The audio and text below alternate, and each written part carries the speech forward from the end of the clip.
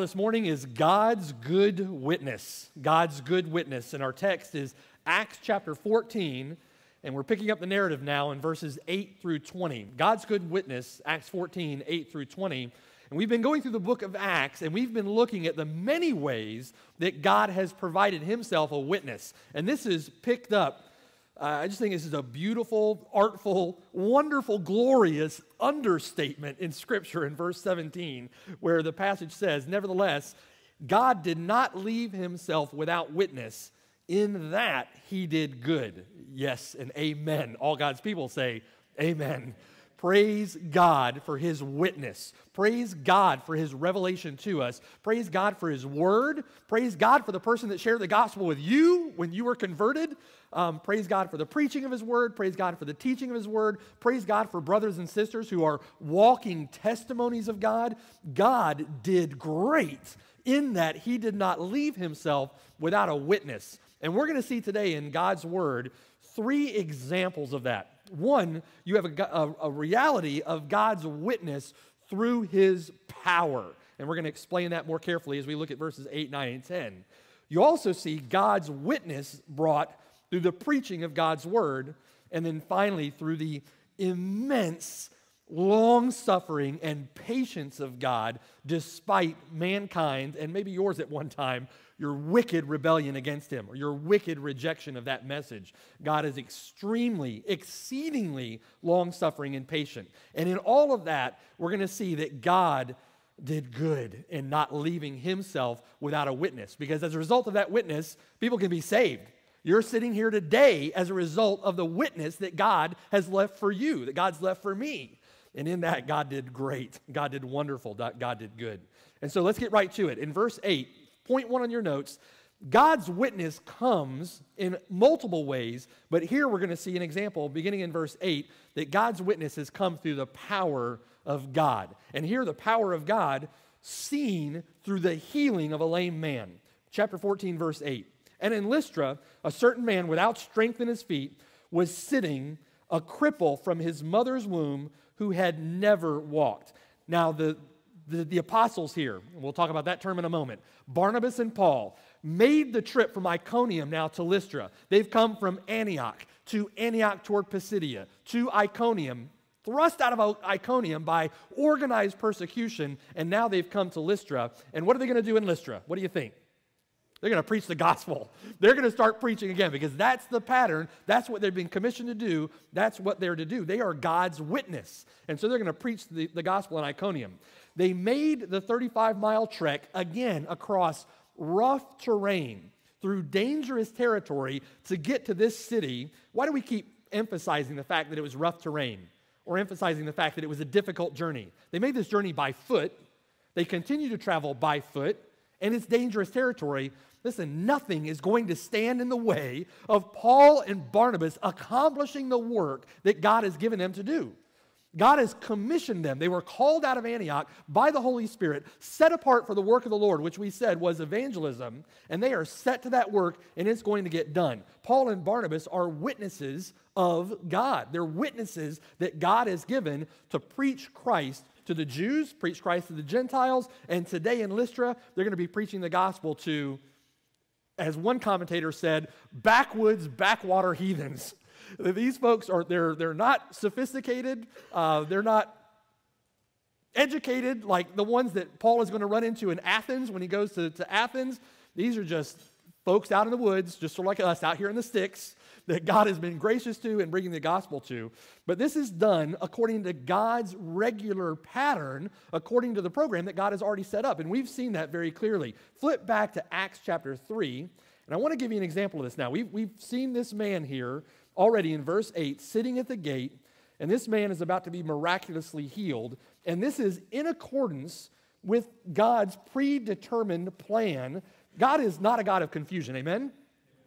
God is a God that works according to orderly patterns, according to orderly programs. God is a God of order. And here, this is just an order, again, that we see set up here that is to be for our admonition. And I want you to see that. Acts chapter 3, and look at verse 1. And see the similarities here. Now, Peter and John went up together to the temple at the hour of prayer, the ninth hour. And a certain man, lame from his mother's womb, see that same circumstance, was carried, whom they laid daily at the gate of the temple. Here, Paul and Barnabas are at the gate of the city, and that temple was called Beautiful, to ask alms from those who entered the temple, who, seeing Peter and John about to go into the temple, asked for alms. And fixing his eyes on him, Peter did, with John, Peter said, Look at us. So he gave them his attention, expecting to receive something from them. Uh, he was about to get something he didn't expect, and praise the Lord for it. Verse 5 So he gave them his attention, expecting to receive something from them. Then Peter said, Silver and gold I do not have, but what I do have I give to you. In the name of Jesus Christ of Nazareth, rise up and walk. And he took him by the right hand, lifted him up, and immediately his feet and ankle bones received strength. So he, and look what he did, leaping up, stood and walked and entered the temple with them, walking, leaping, and praising God. Now we see Peter in Acts 3 perform this miracle with this lame man who was laid outside the gate of the temple begging alms. Here in Acts 14, you've got a lame man, lame literally in the Greek, from his mother's belly, laying at the gate of the temple begging for alms, but this lame man was about to receive a miracle. This lame man was about to be healed. This is in the pattern of Peter, but I also want you to remember this is in the pattern of Jesus Christ. In Luke 5, you have the, the account of Jesus healing the paralytic man, the lame man that was dropped through the ceiling, right? Remember that story in Scripture? He was dropped through the ceiling, and Christ healed him in the same way, lame. The reason we point this out is for this reason the work of Christ here is shown to be going on. Christ began the work healing, attesting to his message, authenticating who he was through the miracle, doing the work of the Lord, healing that man, and then salvation was always connected. He healed him of his lame condition and then saved him. That work was continued by Peter. We see that in Acts 3, a man lame from birth. God gave Peter through Peter, healed the lame man. He was healed of his condition and he was saved. Now, here today in Acts chapter 14, Paul continuing the same orderly work, the same orderly pattern, going to heal a man at the city gates, and this man's going to be saved. Now, that all to say that this is the pattern in the same way that Christ began that work. Peter continued that work, and now Paul continues that work. The work of the Lord continues to go on, even though Christ was crucified. And Christ is ruling and reigning from heaven, and his work continues. Now, that has exhortation and admonition for us. If that work continued from Christ to Peter to Paul, and now Paul is our example saying, Imitate me as I imitate Christ, that work continues through you. In the same way that God has done great in leaving a witness through Paul and Barnabas to these folks in Lystra, God has done great if you're a disciple of Christ in leaving a witness through you to the people of this area. And we're going to say, see in this passage, these healings, these miracles in Scripture have a component that applies to us today. It has a spiritual reality to it. In the same way that this man is laying at the gate, lame, crippled from his birth, there are folks within a stone's throw of this building who are spiritually lame and spiritually crippled who need God's witness in order to be saved. And how does that witness come to them? In the same way that it came to this lame, lame, blind, this lame man at the city gate, spiritually blind, through Paul and Barnabas, it comes through you to them. And that is God doing good in leaving them a witness. We'll see that more as we go forward. But now, here in verse 8, there are certain things that are emphasized, and I want you to see that. First thing it says is that he was without strength in his feet. Literally, that means without ability. This man being lame, without strength in his feet, crippled, literally in the Greek, from his mother's belly, who had never walked. Now, think about it for a moment. Never taken a step, never stood upright on his feet, never was able to support himself on his legs. And this is emphasized to show that this is a great miracle. This is a great miracle that's about to take place. And what happened?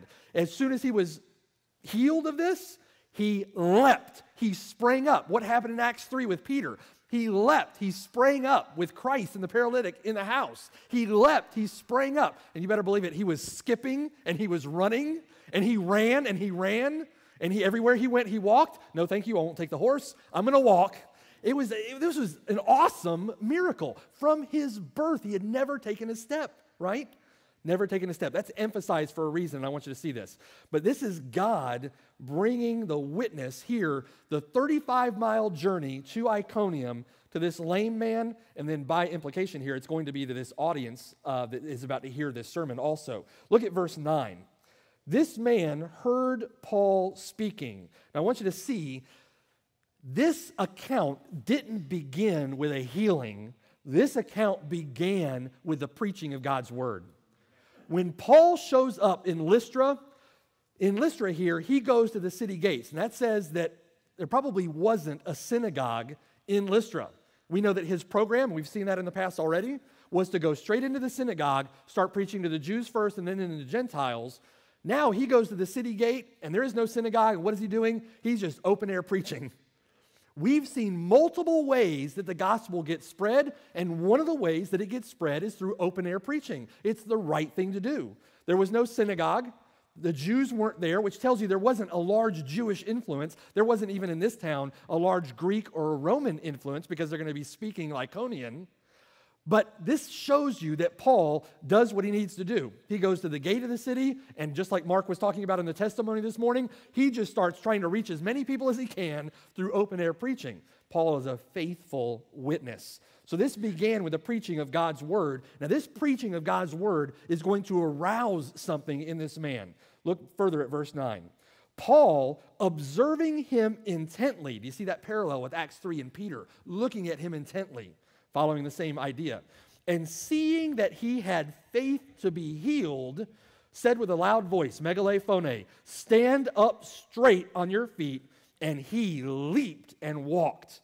Now, here, Paul, seeing that he had faith to be healed, literally, that seeing that he had the necessary faith to be delivered from the condition that he was in. That word in the Greek is pistis. It literally means saved. But here it means saved or delivered from his condition. Somehow, in the preaching of God's word, the preaching of God's word kindled the beginnings, the seeds of faith in the heart of this man. He heard Paul preaching Christ, he heard Paul preaching deliverance. He heard possibly of the, the accounts of Christ saving and healing and walking through the land. And this man, the seeds of faith were kindled in him, and he believed that Paul, that God through Paul could heal him. The seedlings of faith were there. And Paul saw that. He observed intently, seeing that he had the faith to be delivered from this condition, said with a loud voice, Stand and, and stand up straight on your feet. Now, this that we've seen in the past, this physical deliverance is also joined with spiritual deliverance. In the same way, when Peter, when Christ, when others healed from physical infirmities, they also healed spiritually. Uh, and that's with purpose also. When Christ in Luke 5 saw the man being let down through the roof, and he said, Your sins are forgiven you, how did the Pharisees respond to that? Well, who does this guy think he is that he can forgive sins? That was a great miracle to forgive sins left for God alone. And what did Jesus Christ say? So that you may know that the Son of Man has power on earth to forgive sins, take up your mat, rise, and walk. Authenticating his message, authenticating who he was, authenticating his authority and his power to forgive sins and do the greater miracle of converting a soul, Christ healed his physical infirmity. It's the same thing that's going on here. Miracles, these miracles are done to authenticate God's message miracles were done to authenticate God's messenger so that the greater miracle is seen as being from God that a soul gets saved, that someone gets converted, that they get transferred from the kingdom of darkness into the kingdom of his dear son. They become of their father the devil to sons of the kingdom. That, that is the great miracle. And this is a great miracle that is taking place here. There's a connection, saved from physical infirmity, saved from his physical condition, to save now spiritually as well. Uh, this man is about to be saved. Now, he said with a loud voice, Stand up straight on your feet. In that, I want you to draw the spiritual parallel here. In that, Paul was challenging him, commanding him, it's an imperative, stand up straight on your feet, challenging him to do something that in and of himself he knew was impossible to do. right? From his mother's belly, he had never taken a step. From his birth, he had never stood up straight on his feet. And here, Paul challenging him to do something that he couldn't do, that was impossible for him, not impossible for God, through faith. And that's the issue. It's through his faith that the miracle took place. It's through faith that anyone is saved. It's through faith in Christ, the work of God, the grace of God, that anyone can come to Christ. Apart from faith, apart from Christ, we are unable. Now, tie those two things together. If you're a sinner, you're in bondage to your sin, you've never turned from your sin and come by faith to Christ, you are depraved. You are as this lame man laying at the gate. You are spiritually unable to stand. You're spiritually unable to see. You're spiritually deaf to the words of Christ, spiritually unable to do anything of your own to save yourself. You are unable. We looked at last week, that's not a natural inability, that's a moral inability. Just like last week in the sermon, folks don't come to Christ because they don't want to. It's that when the, the gospel is preached, disobedience or unbelief says, I won't do it. The command comes from Christ repent and believe the gospel. Unbelief or disobedience says, I won't do it. And that's exactly what's happening here. When you are depraved in your sin, separated from God, in your natural birth in Adam, in your, out of your natural flesh, your natural heart, you are unable to stand and walk. You're unable to save yourself. And that's why it's by the grace of God through faith that anyone is saved. Now, this man heard the challenge from Paul, took Paul at his word by his faith, and leapt. He sprung up and he followed Christ. In the same way as depraved, wicked sinners, hopelessly lost apart from the grace of God, by faith, when you hear the command of Christ to leap up in faith and be saved, then by faith you leap up and you accept that. By faith you take Christ at his word. By faith you believe God that he will save you and you set forward following Christ as a disciple by faith in him. And by faith, that's how a person gets saved not by works of your own. You're not going to strengthen your knees, strengthen your ankles, strengthen your legs, straighten your legs, and stand up on your own. It's not going to happen. It's all by faith in Christ. Many who have set out on the Christian walk, trying to live the Christian life in their own efforts, know exactly what I'm talking about, have fallen on their face, miserably defeated by sin. The only way that you're going to come to Christ, the only way that you're going to live the Christian life, the only way that you're going to be saved is by faith turning from your sin, putting all of your hope, all of your trust, all of who you are into Christ. And by faith, the miracle takes place. Now, this is by far a greater miracle. It is by far a greater miracle. It's one thing for a lame man, a crippled man from his birth, to stand up and walk. It is another thing altogether for God, in God's power, to transform a heart through the miraculous work of God, you have drug users made clean. You have drunkards made sober. You have sodomites set free. Derelicts and deadbeats delivered. You have hardened criminals softened. You have hate turned to love, bitterness turned to compassion, liars transformed into men of integrity, from fornicators to faithful, from lazy to hardworking, from living to please yourself to living to deny yourself and please Jesus Christ your Lord. From false religion to Christ. From deceived to sanctified by truth. From wicked worry to patience and peace. From emptiness to fullness of joy. From enslaved to sin to hating sin. From hungering and thirsting for self gratification to hungering and thirsting for righteousness turning pride and arrogance to humility, from fearful to bold as a lion, from uncaring and unconcerned to a pleading evangelist, from a son of the devil to a son of the kingdom. That is the miracle of God's conversion. That's the miracle far greater than healing a man lame from his birth. That's a miracle of God. And praise God that He hasn't left us without a witness so that we can be saved. If you're here today and you've come to Christ by repentant faith, you are a walking testimony of this miracle. You're a walking witness for Christ. Now, sometimes as a result of that, you're also a walking rebuke or a walking reproof, but you're a walking witness to be sure. And we are to be that witness. This is a great miracle. And it, it's our responsibility. It's incumbent upon us as having that treasure in earthen vessels to be a witness that way. God has done so good in not leaving us without a witness, in not leaving this wicked world without a witness. And if you're a disciple of Christ, you are that witness. But that's through the power of God. There's nothing more powerful, nothing that is a greater testimony to the goodness, grace, and mercy of God in saving a soul than the life, the transformed life of someone that He saved.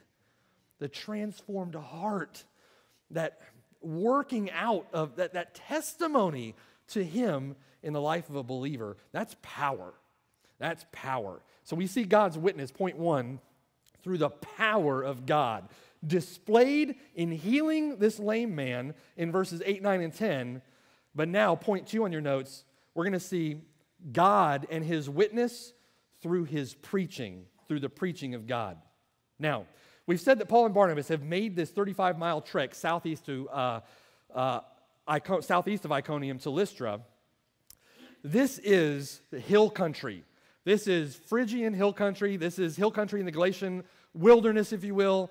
This, as one commentator said, the backwater. This is outright first century backwoods heathen paganism that Paul and Barnabas are about to encounter here. I refrain to use the word hillbilly, but that's sort of what we're talking about here. This is, this is out in the sticks, okay? Um, and these people, when they saw this miracle, they saw, they heard the preaching of Paul, open air preaching, mind you. This is going to get a reaction. These folks had a fit, all right? They got roused up here. They saw something amazing, and they had a reaction. Now, this reaction, if you can imagine, um, in this area with these folks, uh, was born out of legend. There was a story that was told that preceded Paul and Barnabas here, and it hadn't been accounted for very long before they got there, but it was written by a Latin poet named Ovid. And Ovid, writing of this account, talked about a time when Zeus and Hermes visited the Phrygian hill country, this area that Paul and Barnabas are now in, this area of Lystra. Zeus and Hermes come to this Phrygian hill country and they go to a town. They start knocking on doors to see who would receive them, and no one would. Knock on a door, rejected. Knock on a door, rejected. Zeus and Hermes, their gods, were being rejected until they come to the door of a house of a person named Philemon and his wife Baucis. Philemon and Baucis take them in, take care of them. And so Zeus and Hermes, to reward them, take Philemon and Baucis up to a mountaintop overlooking the town, and Philemon and Baucis get to watch the town flooded and all the people in the town killed because they rejected Zeus and Hermes. But because Philemon and Baucis had received them in, they saw their house turned into a glittering gold temple, and then Philemon and Baucis were made priests to Zeus and Hermes. Now, this story was told, this legend got started, and they believed this. There were inscriptions found in Lystra 300 years later that were from the third century that there were still Zeus and Hermes worship going on in this location at that time, 300 years later. They worshiped Zeus and Hermes. They had a temple to Zeus that was there on the location. So this was serious business to them. They were fully entrenched, fully minded in their idolatry. Uh, they were fully born into this feudal idolatry that Paul and Barnabas are about to rebuke. So now their reaction here wasn't unusual. Look at verse 11. Now, when the people saw what Paul had done, they raised their voices, saying in the Lycaonian language, now this is their language, the Iconian language. They weren't speaking Greek, um, there wasn't a large Roman influence there. Uh, this was their own language. The gods have come down to us in the likeness of men. And Barnabas they called Zeus, and Paul they called Hermes because he was the chief speaker.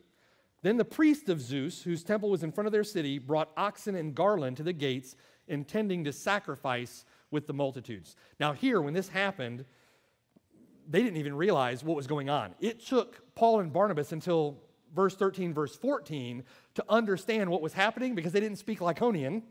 And so they didn't fully figure out what was going on until they started seeing the oxen come and the priest of Zeus come with the garland, and then they figured it out.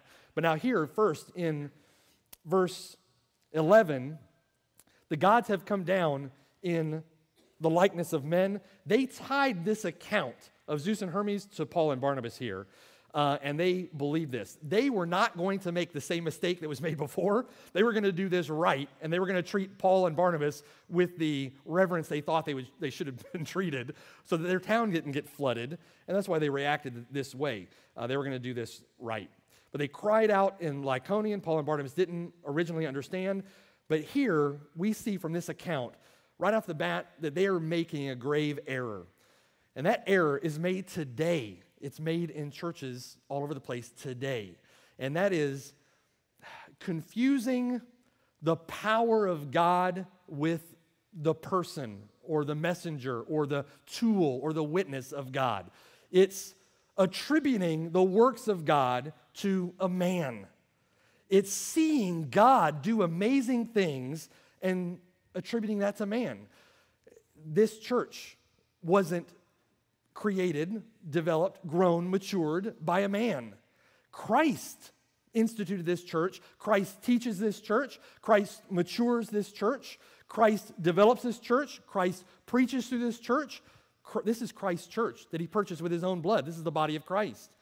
When we see God do miraculous things in countries with the gospel, it's not that man that's doing anything. That's the work of Christ in that place. When someone gets genuinely saved, that's not the, the evangelist that does that. He's simply the tool. That is Christ that saves. Christ deserves all of the glory. God deserves all of the glory for that. Oftentimes today, the reverse of that is also true in charismatic churches. You see a supposed miracle being done, and that guy is sucking all the glory out of that fake miracle, taking glory away from God. All glory belongs to God. And they make the same mistake here. They confuse the true source of power with the lame healer that God is using. Uh, men at best are men at best. and God decides to use them uh, but here, immediately, Paul and Barnabas recognize this and they set off to set the record straight. Right away, they're going to set the record straight. Look at verse 14. But when the apostles, Barnabas and Paul, heard this, they tore their clothes and ran in, ran in among the multitudes. Now, they're called apostles here. That's not apostles, the office, but that word is intended to communicate the authority that comes with being a sent one of God. Paul and Barnabas were separated by the Holy Spirit for the work of the Lord. And so that word apostle literally meaning sent one in the Greek. That's a way of communicating the authority that they had as messengers of God.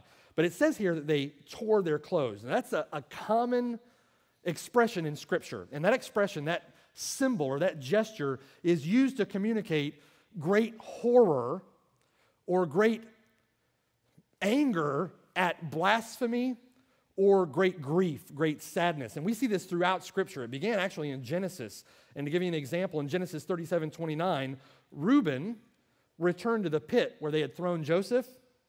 And indeed, Joseph was not in the pit, the Bible says, and Reuben tore his clothes. In Numbers 14 6, but Joshua, the son of Nun, and Caleb, the son of Jephunneh, who were among those who had spied out the land, when they came back from spying out the land and the Israelites were afraid and would not, by faith in God, charge in and take that land because God had given it to them, it says that Caleb and Joshua tore their clothes. Remember in, in Judges 11, Jephthah's vow. In verse 30, and Jephthah made a vow to the Lord and said, If you will indeed deliver the people of Ammon into my hands, then it will be that whatever comes out of the doors of my house to meet me when I return in peace from the people of Ammon shall surely be the Lord's, and I will offer it up as a burnt offering. Now, what a foolish vow to make. And we see how foolish it is. Verse 34 continues When Jephthah came to his house at Mizpah, there was his daughter coming out to meet him with timbrels and dancing. And she was his only child. Besides her, he had neither son or daughter.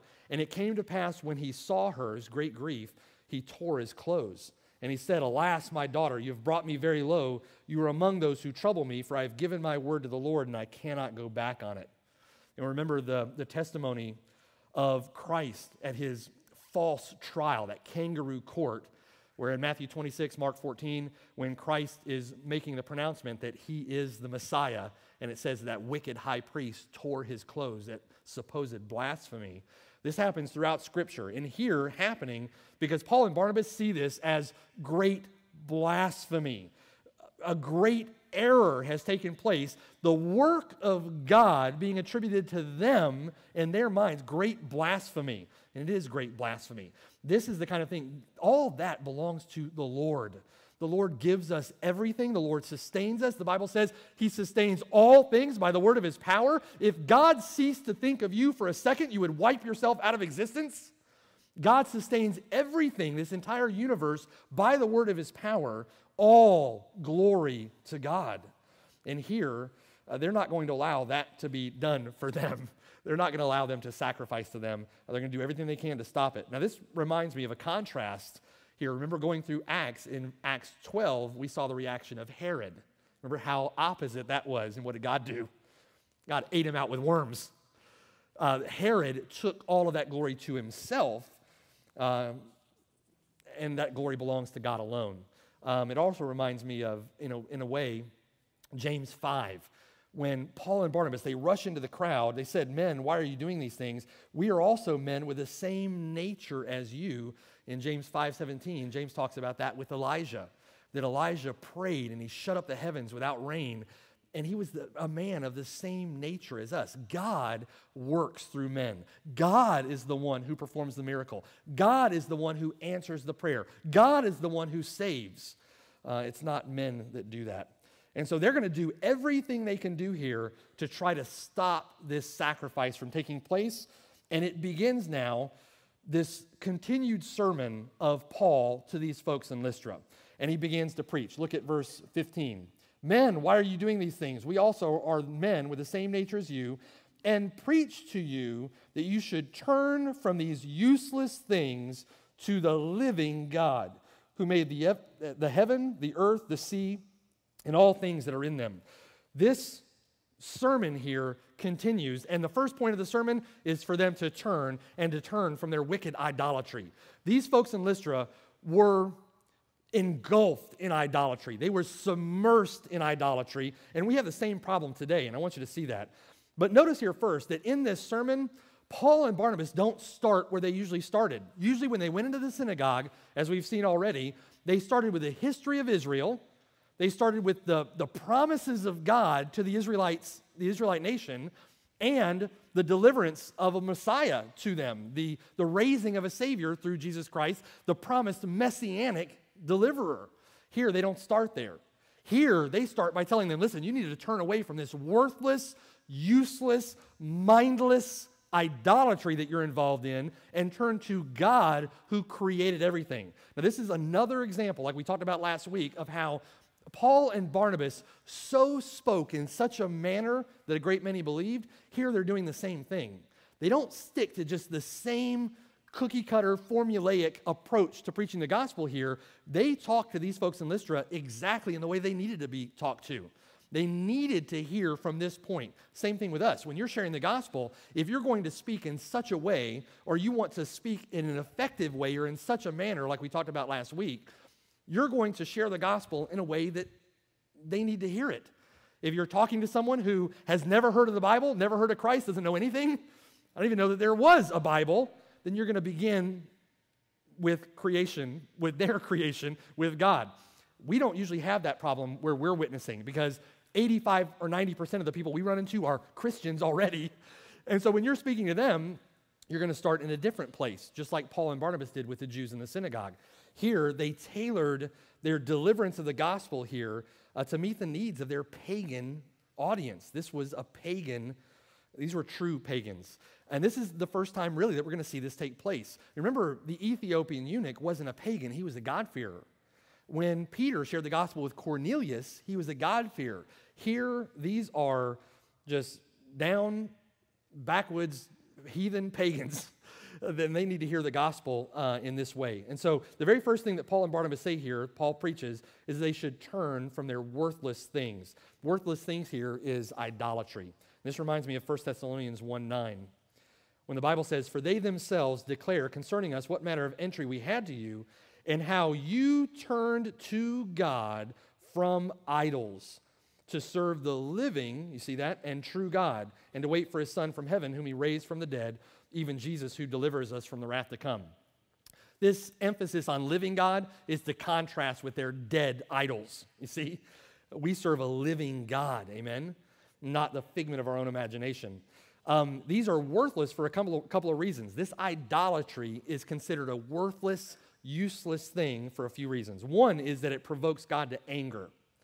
In Jeremiah 1:16, God says, "I will utter my judgments against them concerning all their wickedness, because they have forsaken me, burned incense to other gods, and worshiped the works of their own hands." Idolatry in any form provokes God to anger, right? Secondly, it's worthless because it's good for nothing. It's ineffectual. In Habakkuk 2:18, the Bible says, "What profit is an idol when its maker has shaped it?" a metal image, a teacher of lies. For its maker trusts in his own creation when he makes speechless idols. They are good for nothing, cannot save. And third, because they are deceptive. Often in Scripture, there is a warning to even not to marry foreign wives because the Israelites can be led astray into idolatry led astray into worshiping those things that are not gods. And when you worship things that are not gods, the Bible says you're worshiping demons. But now, the reason that applies, and it applies this way, is because this idolatry still goes on today. This idolatry, in numerous ways, continues to this very day and will continue. In Revelation 9:20, this is Revelation, the end times, right? The last days, and it says, "But the rest of mankind who were not killed by these plagues did not repent of the works of their hands, that they should not worship demons and idols of gold, silver, brass, stone, and wood, which can neither see nor hear nor walk. This idolatry continues today and continues into the future. Sometimes we can think to ourselves, well, it's foolishness to serve, I mean, worship sticks and stones, you know, worship gods of your, you know, little carvings that you've made yourself. You know, with one half of the wood, you carve out a god, and with the other half of the wood, you build a fire to make your bread, like the Bible says. Just the foolishness of idolatry. But this idolatry continues today. It continues through Hinduism with its myriad of gods, rat gods and rock gods and egg gods. I mean, just utter foolishness, utter idolatry. It continues in Buddhism, but it also continues in Islam and in the sense that it continues in Islam, is this that that God that is being worshiped is not the God of the Bible. It is a God of a man's imagination. It is fabricated by a man. It is not the God of the Bible. They worship a different God. And as such, as the Bible says, they're worshiping a demon. But now, in the same sense that Islam has done that, professing Christians do that all the time, right? One way that you engage in idolatry is by having an understanding or a fabrication of God that doesn't align itself with the Word of God. By having um, an idea of God in your head that is not biblical. That is also idolatry. Um, you, there are those that worship sticks and stones. There are those that worship the creature rather than the creator. But there are also those here in our own day that worship a God of their own imagination, a God of their own making. The God of the Bible is the one true and living God. There are no other gods besides Him, and it's Him that we worship. But now we also hear idolatry spoke of in a different way. And this word idolatry is made up of two Greek words. One is idol, the root idol, meaning idol, and the other is from latreuo, meaning to worship. You've got idol worship, right? It's idol worship, idolatry. And idolatry is basically supreme or even extreme admiration, love, or reverence given to someone or something that is not God, right? That takes the place in that sense of God. And in our context today, we hear idols spoken of in a lot of different ways. And there's one way to think about idolatry that is dangerous that we need to understand. We hear all the time now in evangelicalism, if you've read or if you listen to sermons, people talking about idols of the heart. And sometimes the intention of that, it's well intentioned or well meant, but redefining sin as idolatry can be dangerous for a couple of reasons. Sometimes we talk about idols in our context like this they are money, sex, power, education, children, leisure time, entertainment, Some people have appearance as an idol. Spouse, your spouse can become a, sometimes for some of you, it may be finding a spouse that becomes an idol. Um, free time, family time, work, hobbies, those kinds of things sometimes are spoken of as idols or idols of the heart.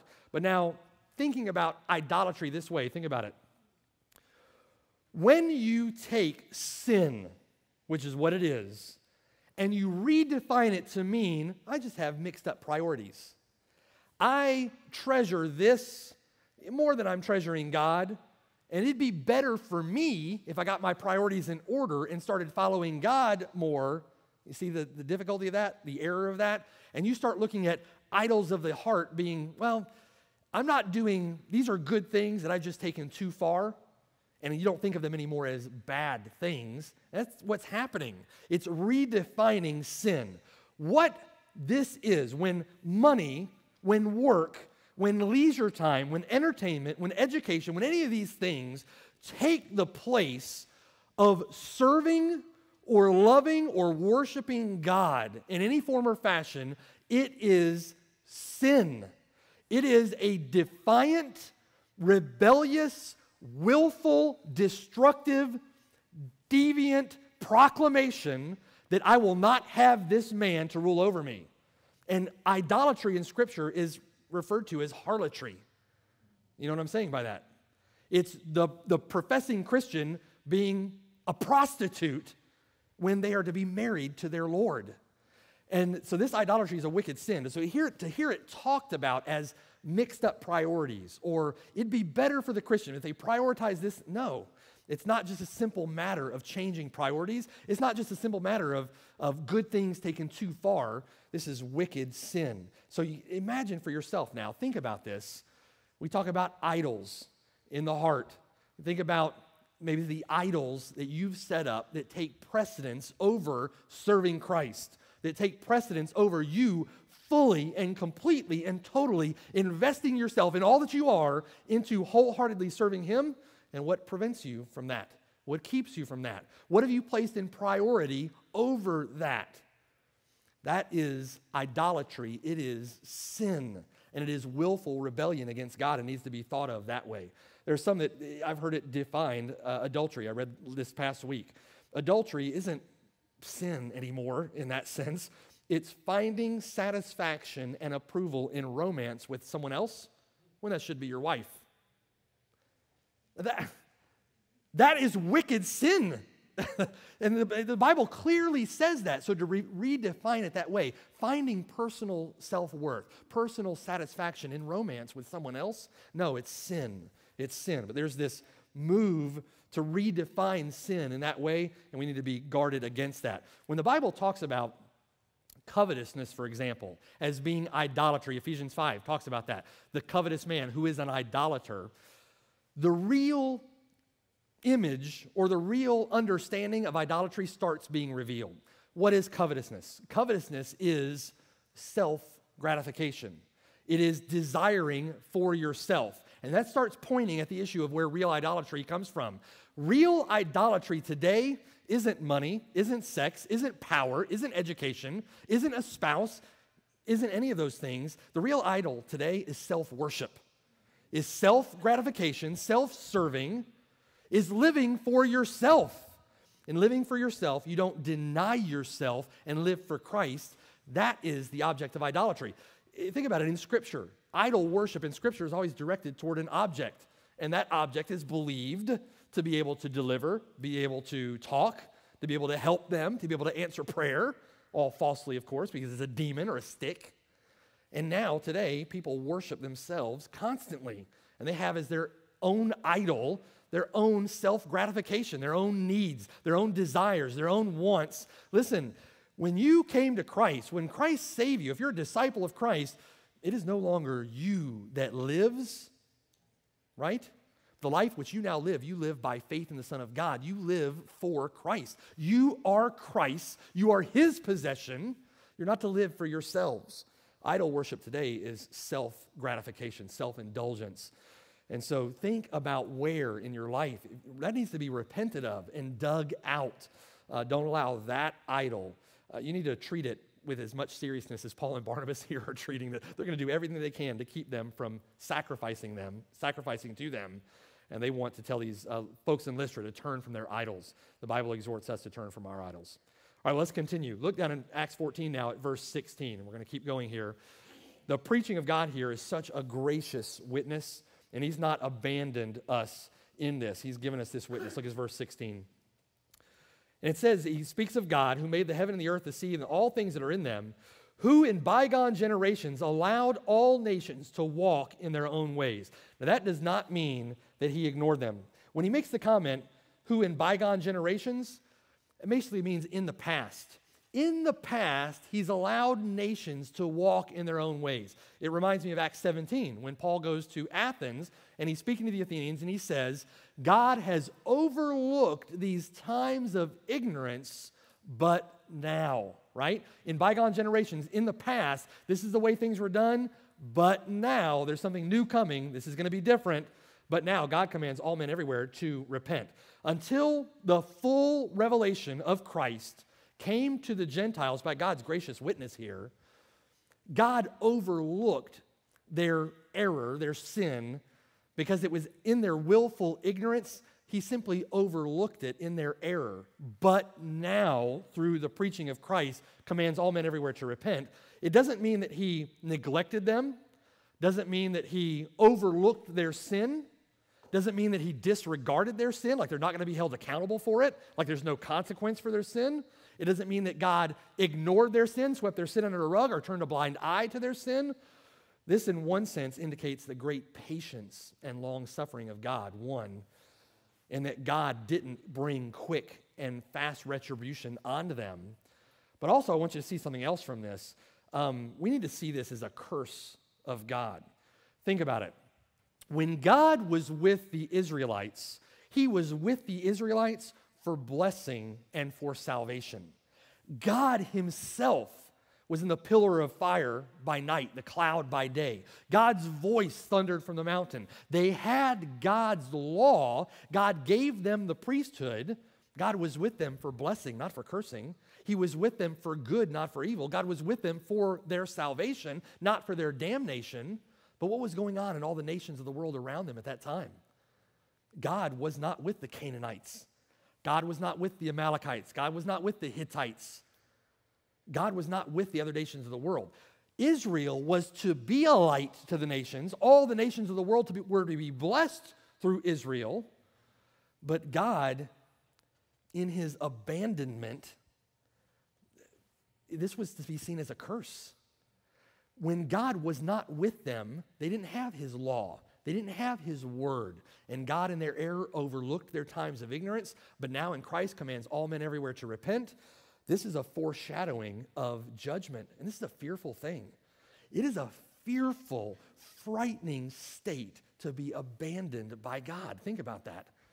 The, the, the curse of, of Him withholding His grace and His mercy and we think about it sometimes, the, those that are in the Amazon or in Africa, the question is always, well, how can the pygmy in the backwoods of Australia be saved when they've never heard the gospel, never heard about God, and they die in their sins and they go to, the, go to hell? That's Romans 1, right? Romans 2. They're without excuse because God has not left himself without a witness. God has been good in that.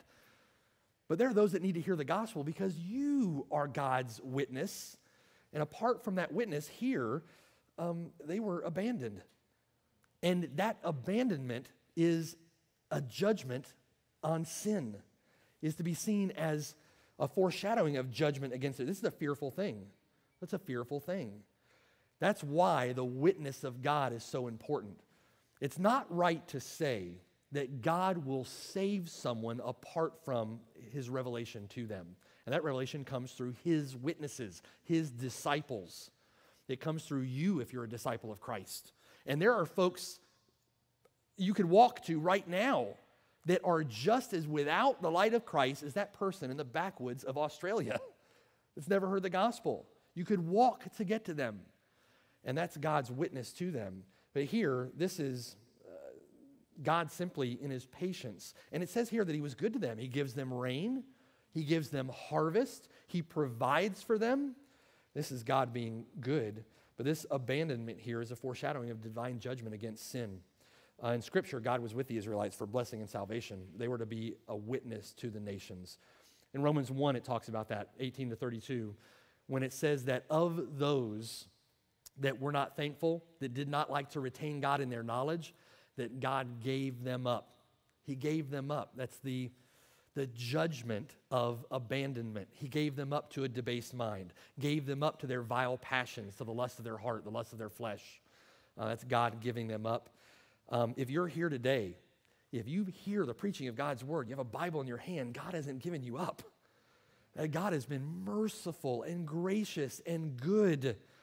Uh, there are people here that it will be the grace of God to them that you share the gospel with them. And God is gracious and merciful and good.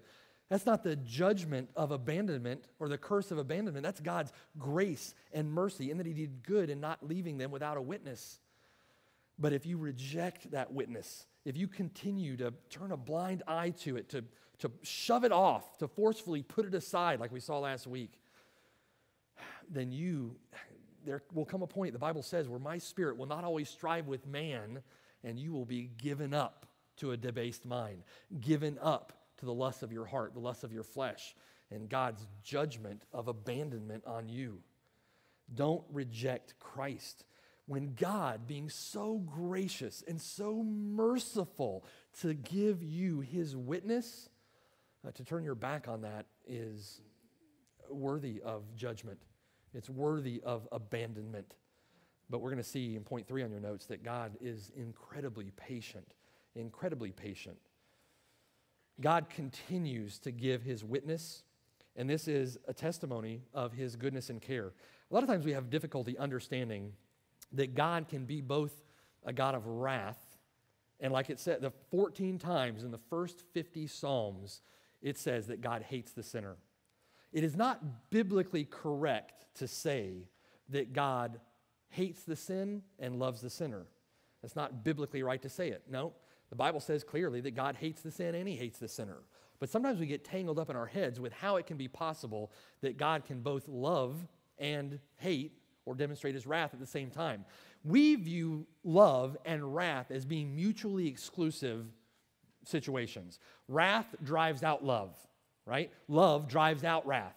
But in God, wrath is simply an expression of one of his perfections, which is justice and righteousness. Because God is just, because he is righteous, and because he is holy, then God demonstrates wrath anger and hatred against sin and against the person who commits that sin. That is God in his perfection expressing his perfection through wrath. But God is also in his perfection loving.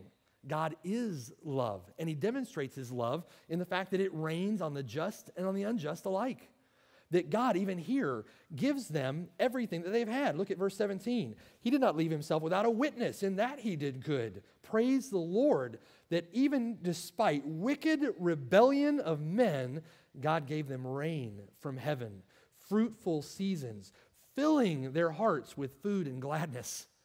That's the rain falling on the just and on the unjust. At the same time that God, in his perfections of holiness and righteousness, his perfect justice, expresses his opposition to that in his wrath and in his anger and in his judgment in the same way. And at the same time, they're not mutually exclusive perfections in God.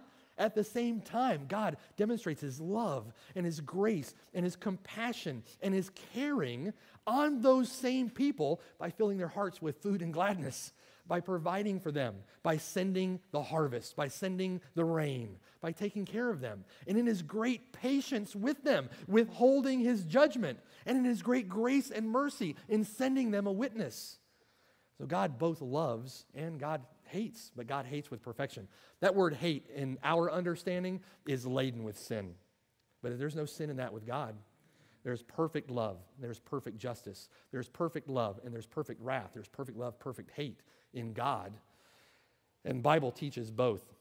But these God takes care of. Psalm 145, 15 through 16 says, The eyes of all look expectantly to you. That's everyone, sinner, saved alike. And you give them their food in due season. You open your hand and satisfy the desire of every living thing. That is God's grace and God's mercy, God's goodness. That's God's love. And that is His love poured out even on those. Now, listen, this idea of love, you can get in yourself into an error a way of thinking that's simply not biblical, and that's this that God hates the reprobate, and there's simply nothing that can be done about it. If you're here today and you have this image of God as being some hating ogre against you, uh, that's another example of you worshiping a God that is a figment of your own imagination that's not the God of the Bible. The fact that God, God has done good in that He has left Himself a witness to you today. You get to hear God's word. You get to be among God's people. God, the Bible says, is abounding in love, abounding in mercy, abounding in grace. Bible doesn't say that he is abounding in hatred, abounding in wrath. God wants you to be saved. God desires that all men everywhere repent. They turn from their sin and put their faith and trust in Christ. And this is God's expression.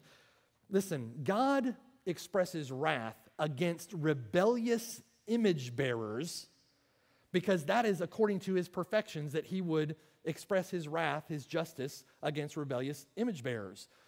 But God, finding nothing lovely in the object that he demonstrates his love to, if you understand what I'm saying, loves rebellious image bearers in the sense that God, in his perfections, is loving. That's the kind of God that he is.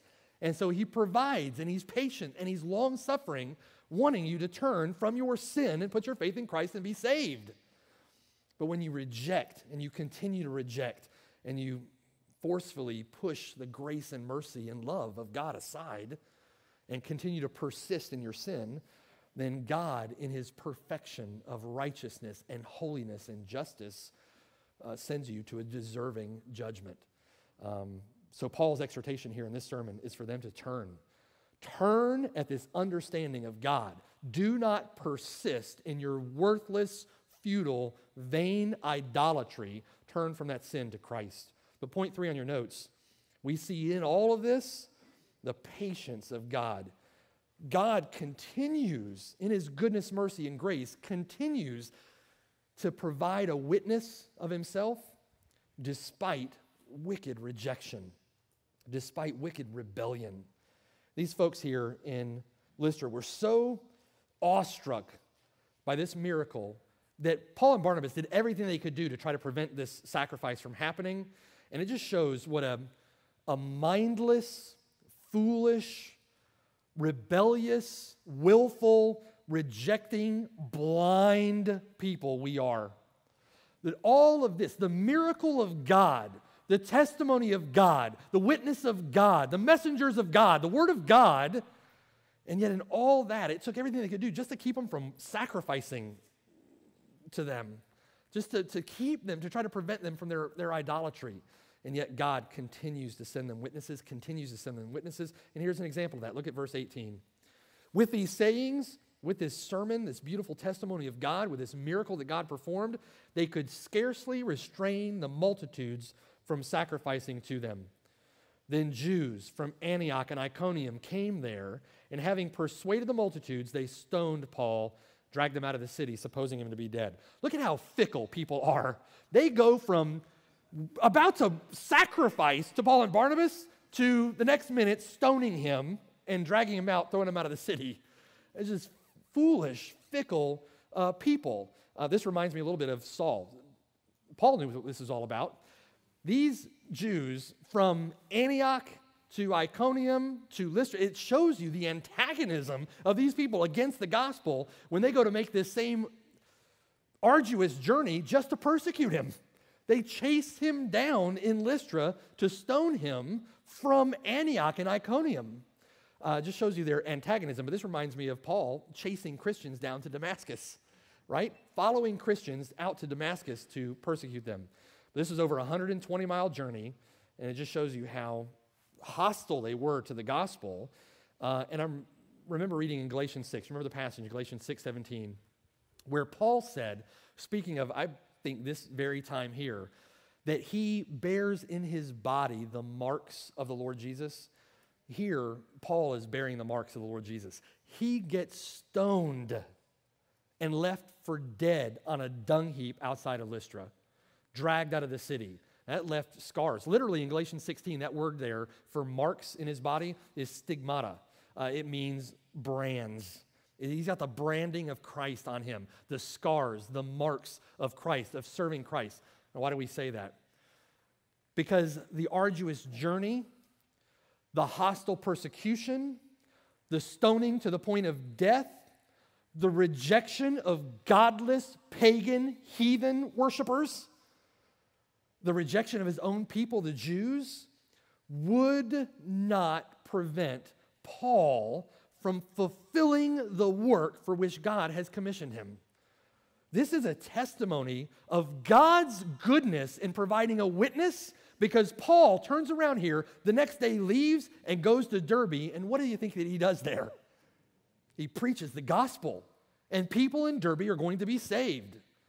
This is Paul's faithfulness, his unswerving, uncompromising faith. He goes right back into Lystra out of faith in Christ, out of sheer faith, nothing more. Being stoned, unconscious, scarred, left for dead on a dung pile, he goes right back into Lystra. That's just faith in Christ. And then he turns around and he goes another 60 miles on foot in the condition that he's in the next day, surely in pain, and he goes straight down to Derbe and preaches the gospel again. This is just, this is Paul's faith that was granted to him by God. This is a testimony of his faith, but also this is a testimony of the goodness and patience of God in providing a witness. God's good witness. That God provides a witness to his word, God provides a witness to the unswerving nature of saving faith. God provides a witness of the power of conversion, of salvation. And God provides a witness in Paul to those folks in Lystra, to those folks in Derbe. And God is so good in providing a witness. That leaves us with our admonition from that, the exhortation of Scripture to us in that. Paul said, Imitate me as I imitate Christ.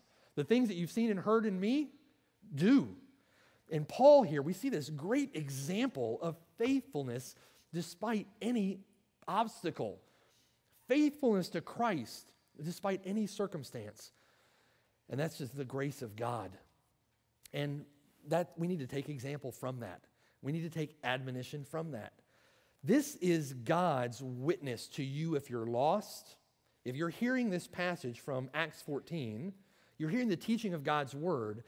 This is God's witness to you to be saved, to turn from your wicked, foolish, utterly deplorable, rebellious idolatry of self worship and to turn to Christ and be saved.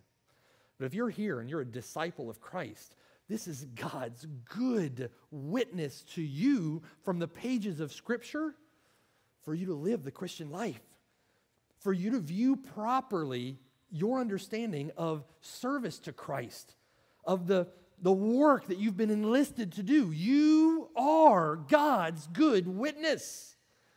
This should, with Paul's example and the exhortation from Scripture here, charge you up to go out and serve him with greater and greater faithfulness.